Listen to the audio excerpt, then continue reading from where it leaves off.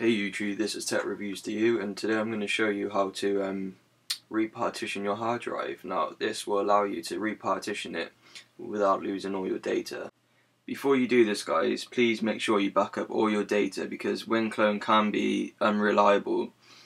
Um, it's not for certain that this will back up your data because sometimes you may get an error so just to make sure please back up your data before you do this so you do not lose any of your data. So what you're going to need to do is you're going to need to download WinClone for Mac. I'll put the link in the description below. And um, once you've downloaded it you need to go to applications load it up and click agree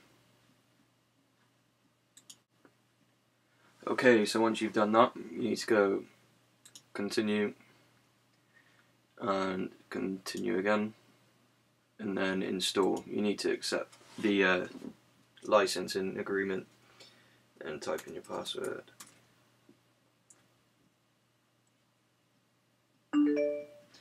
Installation successful. Now, what we're going to need to do is go back onto WinClone.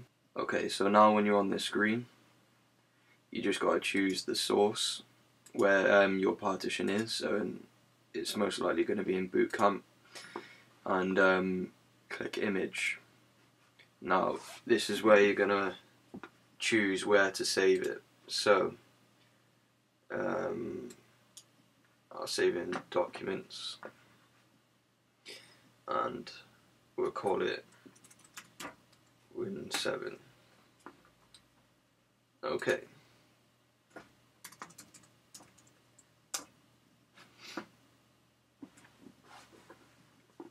and now what it will be doing is cloning your Windows partition. This may take a while so um, I'll start the video here and um, carry on when it's finished.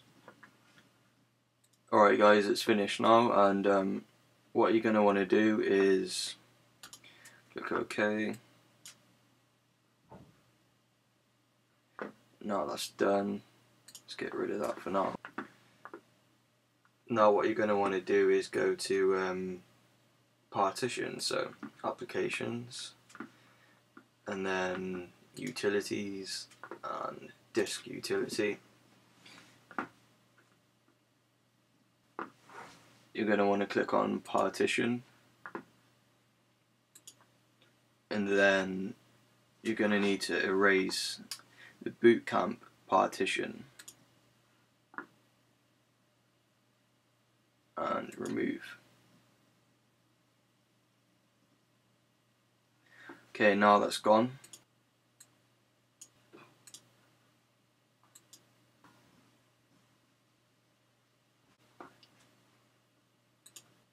Okay, so once you've erased your partition, we will go into Boot Camp Assistant, which is in Applications, Utilities, Bootcamp Assistant.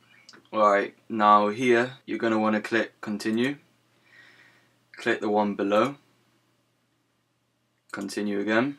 Alright, now here is where you want to choose how much um, memory you want to give to your partition. So beforehand I um, gave it 100 gig but I've run out of space so I need to give it more so I'm gonna say about 300 gig and then once you've chosen how much you want to partition you click the partition button below. Okay guys it's finished. Now when we get here we're not going to start installation. What we're going to do is quit and install later. Now after you've done that we're going to open up WinClone again. Agree. Now restore. And now select image and find um, the file. And once you've found it the Windows 7 partition or whatever partition that you've cloned once you've done that mount it. This may take a while so um, I'll pause the video here and come back when it's finished. Okay guys it's done. So now what you're going to want to do is select the destination as boot camp then all you need to do is click restore. Now, once you click restore, it should um, restore it to your bootcamp partition and it should be fine. Okay, so thanks for watching guys. Please rate, comment, add, and subscribe.